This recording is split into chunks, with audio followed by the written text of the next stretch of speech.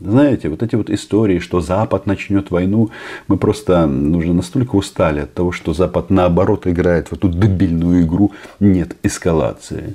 Но и в некотором роде они доигрались. И вот сейчас вот э, такая вот тема прошла в СМИ, что, мол, Зеленский потребовал от Байдена передать ракеты Томагавк. Хорошие ракеты. А, идея утопична на первый взгляд. И все хихикают по этому поводу. Но, знаете, мне кажется, идея правильная. Почему? Вот внимание. Этот вопрос, кстати, а, был задан и Лаврову. Ждут ли они томагавки? Я томагавки не жду. Я жду ракеты Гром-2. Наша. Made in Ukraine. Ну, и опять же, мы не можем а, заниматься гаданием на кофейной гуще, тем более а, гаданием на той субстанции, которой иногда пользуется президент Украины. Но то, что его требование томагавков вызвало оторопь в Вашингтоне, это нам известно. Это правда, что они не в восторге от этого предложения. И может быть действительно у них там отторпы. Но она пройдет. Почему? Значит, э, требовать на томогавке это, конечно, классно. Я, знаете, поддерживаю а, чисто вот э, в политическом плане такие запросы. А, потому что просить томогавки, э, может быть, а, получишь разрешение на использование атак МС на всю глубину, а, на которую они могут полететь. То есть 300 километров, хотя там много разных модификаций, есть те, которые летят дальше.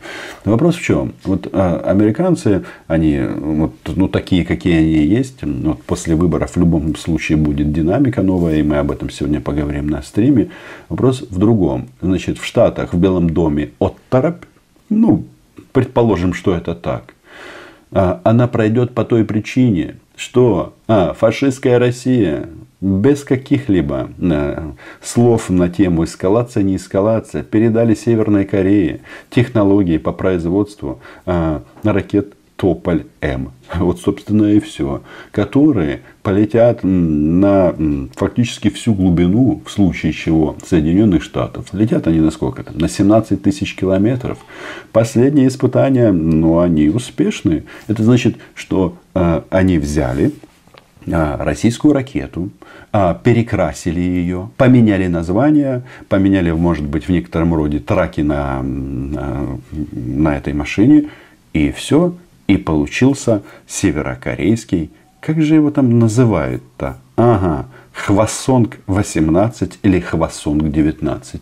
Так что отторопь она быстро пройдет в рамках дискуссии про ничью. Опасна эскалация конфликта.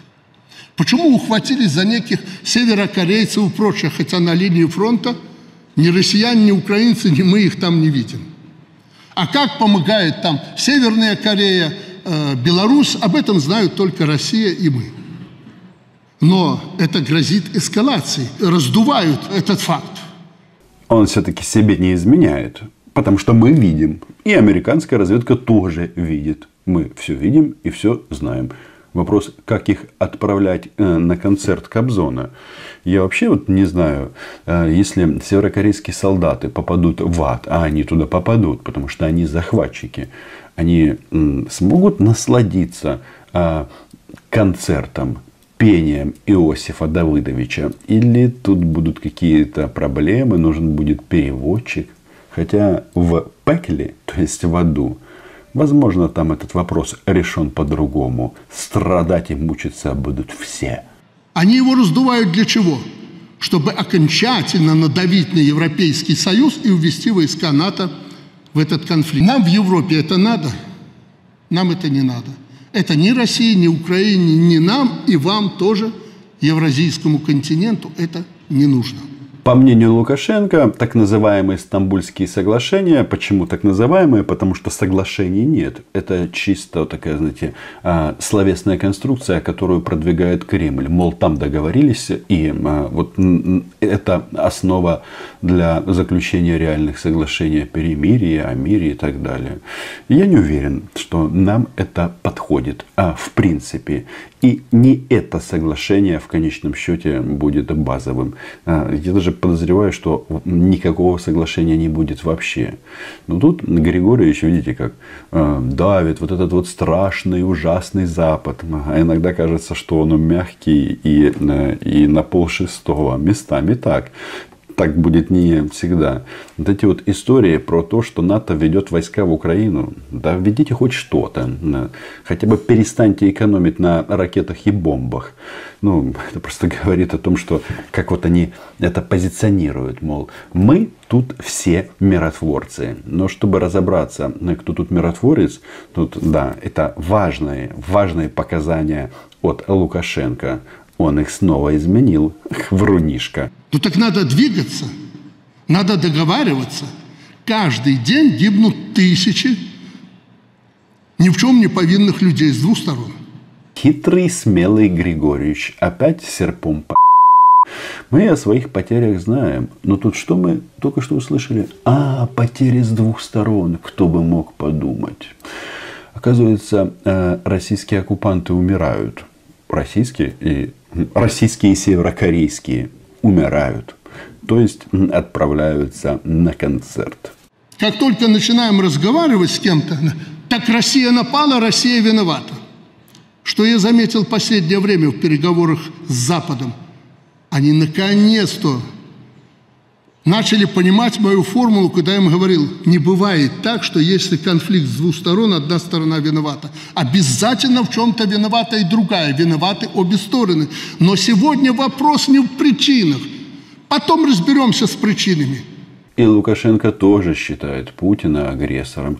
Путина и фашистский российский народ. Ну, тут они друг друга стоят, потому что Беларусь а, вся сейчас работает на, на обеспечение российской армии и снарядами, и военной техники.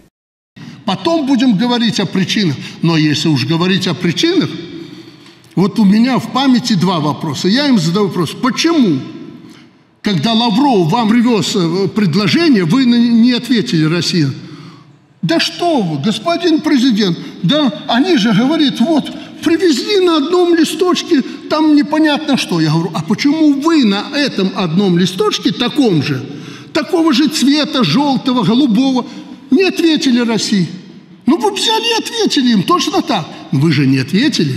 И дело не в листочке – Действительно, дело не в листочке. О чем говорит сейчас Лукашенко? Он говорит о том, что в 2021 году, в декабре, МИД РФ отправил письмо э, в европейские столицы за подписью э, ну, Лаврова, ну, по факту Путина. И там было написано, НАТО должно сократиться до линии 1997 года. И, э, внимание, на этот листочек НАТО не ответила. Это действительно так. Они подумали, ты что, кретин? Э, тебя это касается. Это не твоего ума долбанного дела на самом-то деле. Страны сами определяют, хотят они в НАТО или в АДКБ.